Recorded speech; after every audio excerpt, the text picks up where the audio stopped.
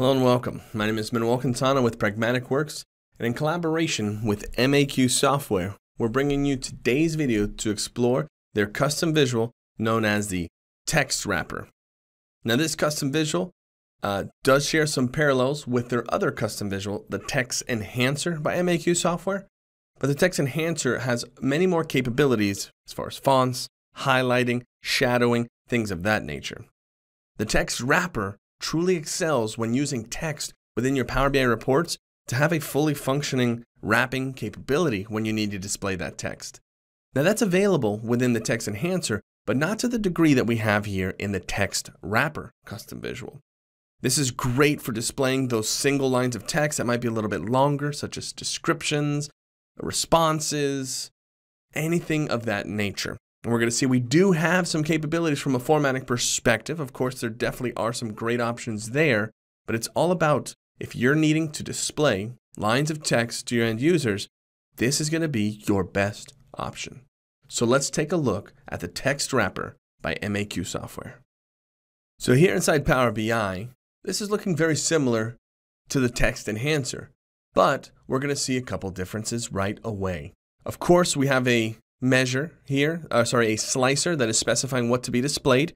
Similar to the text enhancer, we need to have an individual line of text be portrayed. If we eliminate the slicer, we will note that there's a default error message. But this will very quickly illustrate how this text wrapper differs.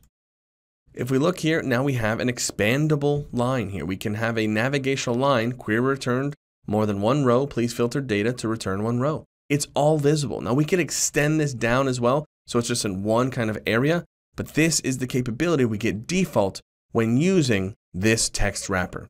So you can already see when, you, when an important visualization depends on a larger amount of text, this is going to be a fantastic element for using in your visualization. As well, there's some additional features. It's not just needs to be categorical data. As you can see, it can be measured data. Also, we have do have variations from a font perspective.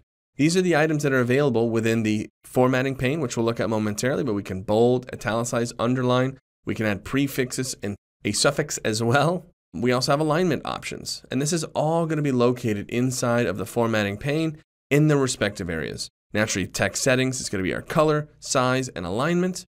Then we have the static text. This is going to be if we want to put a prefix or a suffix, so we have that choice here. And do we want to include a colon or not? So that's what's got to illustrate.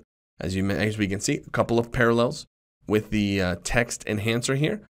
But we have that wrap capability, that default capability that regardless of what gets populated in the size of the visual that we give it, the size that we give this text wrapper by MAQ software, we will always be able to explore the entirety of the text. Either it gets displayed because we've given it enough real estate to leverage that, or we can use the navigational arrows to move up and down from within that line of text.